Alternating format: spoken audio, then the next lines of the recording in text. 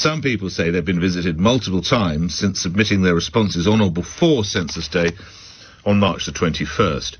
Are you a victim of that? While we try and sort out uh, the problems with our phones, let's bring to the conversation uh, Steve Kuncewicz, who's a lawyer and partner at BLM, specialising in privacy issues. Um, so I'm sorry, I, am unable to see a brief because we have a few issues here, Mr. Kuncewicz. Are, are, you saying you have issues with the 2021 census? Good morning to you.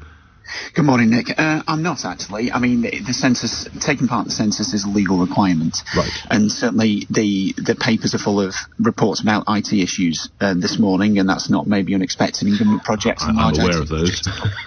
yeah, I, I We're battling with them at the moment. I, I, think everybody is um, remote yeah. working, to be honest. Yeah. I mean, I think a, a, lot of people have raised privacy issues as well, but I think the government has gone out of its way. There's been a lot mentioned about how the, the data that's collected is going to be used, and and, and unfortunately, I think this is just a, an example of, of a project that's probably got a little bit out of hand. Just going back in history, and if I'm taking in an area you don't know, just say, but I, I assume this census more has been put online or relied upon from computers and those systems, I imagine, than ever before. Is that right, Steve?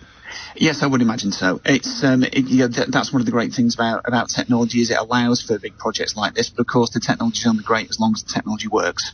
And if someone, of course, we have to be realistic. Not everyone has access to going online. You know, you got the card through the door, you got your unique reference number, you sat down and you filled it. What of people who don't have access to a computer? Do we know?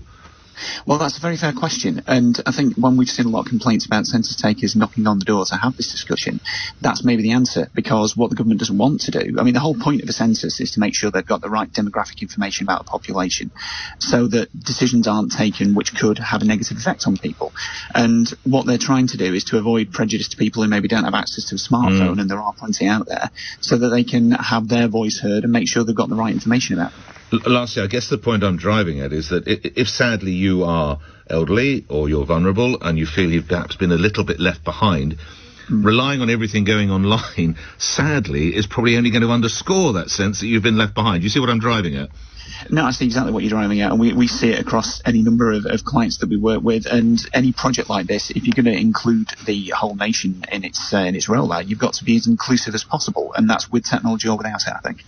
Grateful for your time. Thank you, Steve Kuncewicz is a lawyer and partner of the firm BLM, specialising in social media and privacy issues.